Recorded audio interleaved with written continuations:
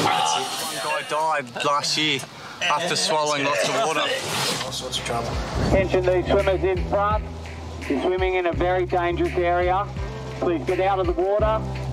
You must walk up the beach and swim between the red and yellow flags.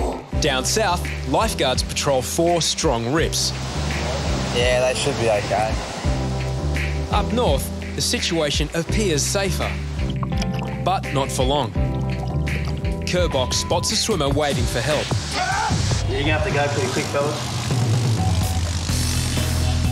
You get out there quick, boys. Harries races out with Dino close behind. The swimmer is actually directing lifeguards to his friend. The man is desperate, barely keeping his head above water. Going under. It's going under, eh?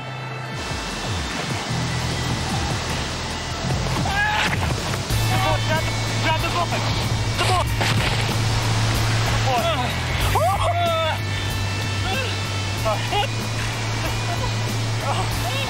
he alright down there? Chest down, chest down on the board. Chest down low. That's it, good boy. Chest down low. Very good, man. Oh, thank you. Are you alright? That's alright, mate. Dino watched that whole thing unfold right in front of us. But uh, yeah, that was a close one. Jason is Korean and studying English in Australia. It's one of his first visits to Bondi. You have a bit of a rest for a bit. I drink a lot of You drink the water. You feel it headache? Oh, thank you. Well, we have to get. I think it's a bit of a good idea to get you checked up. He's taken in a lot of water. Lifeguards are concerned about his condition.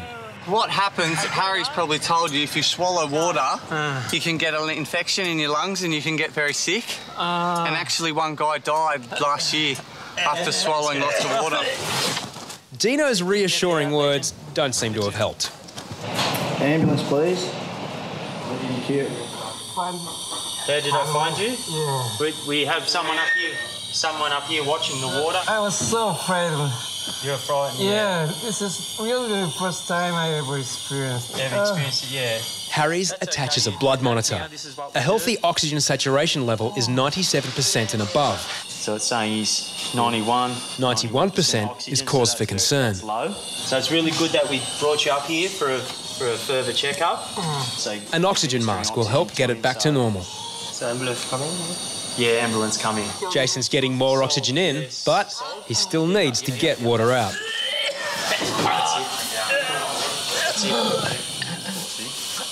You can drown with as little as one teaspoon of salt water in the lungs. Your body has to balance that out, the salt water out, and it'll draw more water into the lungs, and that's why you actually drown. Paramedics back up. Just need to medical physically, I'm okay. Everything's fine. Okay. Yeah, there's no water in your lungs. Your blood pressure's back to normal already. When we take you off the oxygen, your saturation of oxygen, the amount of oxygen in your blood is normal. And you basically swallowed a lot of water and had a bit of a vomit and spat it out again. So I'm alive now. I'm breathing in the fresh air outside. I was so lucky the safeguard could see and uh, run into me then. So I thought I'm, I'm safe. I'm safe right now. Jason's safe, but there's no rest for the lifeguards. More swimmers are struggling in a rip. Yeah, Bondi Central ATV. Mate, Dino needs backup, third ramp. Get down there. With three women in trouble, Hoppo's needed in the water. These holes are just giving us all kinds of he- hell. The first woman indicates her two friends are more urgent. Oh, she's face down, that chick. Hoppo pulls one girl to safety. Dino spots the third girl making a last ditch effort to signal for help. The swell makes the rescue difficult. Right, Dean? Dino's raised arm signals it's a serious case. He needs backup on the beach. Yeah, time to get down there. Take the dude. Hey, Blake, deep with that, mate. Yeah, Rob, you might want to get down south, mate. Dino again signals the tower. Yeah, Dino just uh, giving the sign means he needs all assistance. He's uh, pulled someone out. I think they were just face down. Dino's patient has come around. but lifeguards know she needs close attention. Less than a minute ago, the woman was face down in the water. Breathing? Just take a bit of. Swallowed heaps of water, so we'll put on the oxy, get an amber. Okay, copy, mate. Try and stand up, we'll hold you. No? Yep. Just lay her on the board, we'll carry her. Oh, yeah. One, two, three. Lifeguards don't know how much water the woman has swallowed or how long she's been without oxygen.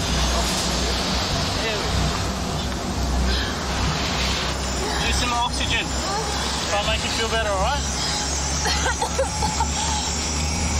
Just breathe into it normally. It's alright.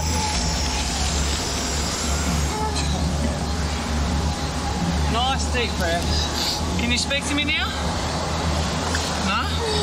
There's a smile. You're alright.